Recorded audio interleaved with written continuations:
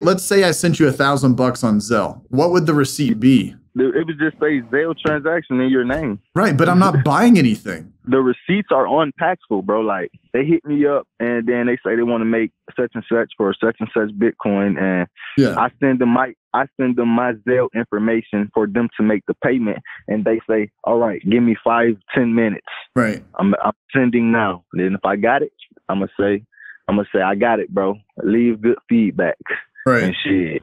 I know what they doing, bro. But sh- like I said, I mean, Pax was legit. So I know mean, Paxful's legit, man, but like you gotta just be careful with uh, all the, the the scammers and stuff because that's Yeah. what they're doing, man. They're they're saying, hey, look, I want I want nine hundred dollars worth of Bitcoin, right? And then you get a thousand bucks into you, and then you send them nine hundred bucks worth of Bitcoin. Exactly. Right. How did they even freaking find you? They found you through Paxful, essentially.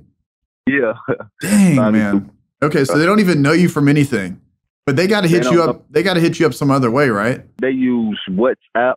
I know it'd be a lot of uh of them foreigners saying, "Hey, so we can do long term business Right. and shit like that." So you know how to do that? shit?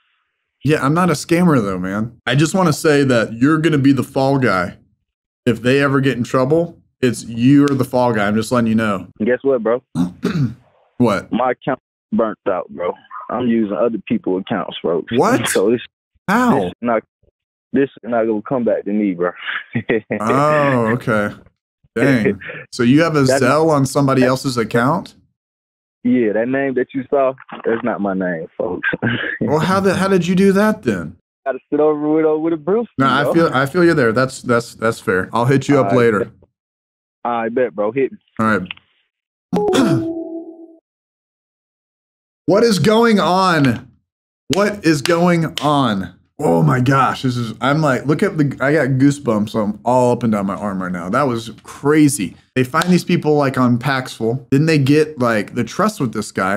And they're like, hey, we have more stuff. We're someone's gonna be sending you money. Well, essentially what happens is they're like, well, we want to get nine hundred dollars worth of uh, crypto, and we're gonna send you a thousand dollars. So you're going to get a thousand cash and then you send 900 in crypto. And then on top of that, he has other people's bank accounts that he's using it with. That wasn't even his name. That's the thing. The account that I sent it to wasn't even his name. That's what he was taught. That's why he was like bragging about it. I'm like, my hands are shaky right now. I don't know what to think about that. This is why we do these phone calls um, for these types of moments where we get information. Zelle is such an easy way for these guys to be doing this. And then they're using Paxful. Paxful is like the key to all of this. They found these people on Paxful. They found these people on the internet somewhere and they're using them.